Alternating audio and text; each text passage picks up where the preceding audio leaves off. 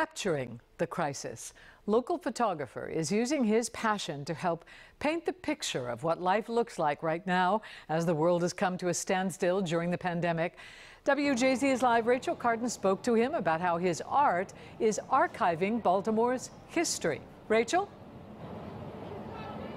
That's right, Denise. James Trudeau has been a photographer in Baltimore City for the past 10 years. Now, usually he documents weddings, big ceremonies, networking events, but lately he's been shooting empty streets and masked faces, documenting history. Through this lens,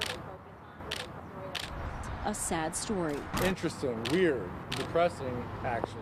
But it's real. It's unfortunate that I have to document this story and history. How different the world looks now to photographer James Trudeau, a once busy city, now a ghost town. Black and white snapshots of the life of everyday people during a health crisis nobody was ready for. This little boy, he must have been like nine or 10, riding a scooter. He has his mask on. He has a police badge, a fake handcuffs. And he's just like, he's still being a kid.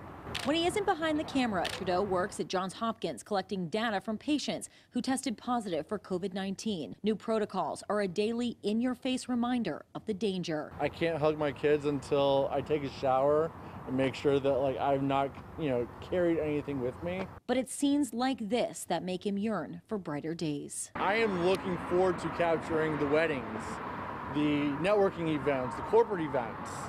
Um, so the best thing people can do is stay home, social distance, do what you gotta do until this can be over.